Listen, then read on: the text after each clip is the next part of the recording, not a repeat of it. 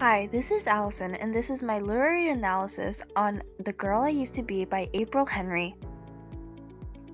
The setting is important because it provides a place for Ariel to hide from the killer. After Ariel finds out that Stefan Spaulding was the killer, she runs into the forest and Stefan follows her. She finally decides that she should hide after she hears Stefan trip. She finds a blackberry bush that she hides in. If she ran the other direction, she may not have found a good hiding spot. Then the killer would find and kill her without anyone knowing, and her parents wouldn't get the justice they deserve.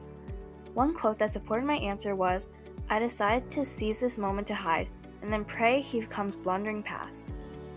I drew a jawbone, gun, and knife. I drew the jawbone because Ariel comes to Medford after she finds out that her dad didn't kill her mom and run away like everyone thought he did, but he died with her mom that day. I drew the gun and knife because those are the weapons that were used to kill Ariel's parents.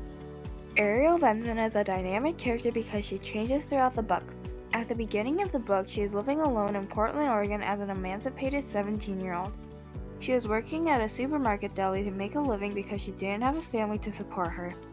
She always thought that her family didn't want her because at her mom's funeral, she thought the adults were fighting because nobody wanted her.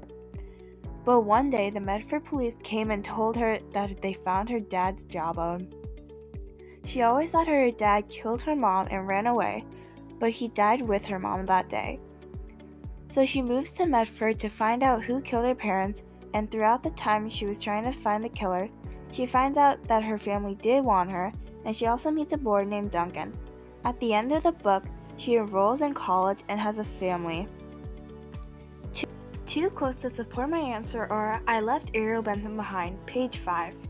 And my real name is Ariel Benson, and my parents are the other two people Stefan Spaulding killed.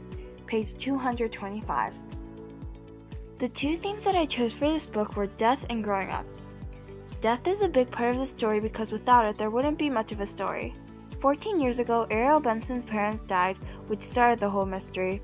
She goes on this journey to find out who killed her parents, but when she does, he kills Nora, her grandma's best friend, too. Growing up is a theme in the book because Ariel grows up a lot throughout the book. At the beginning of the book, she was very closed off from the world. She wasn't interested in what happened to her parents, but at the end or in the middle of the book, she tries so hard to find out who the killer is, and she ends up getting a family like Carly, her husband Tim, and Lauren.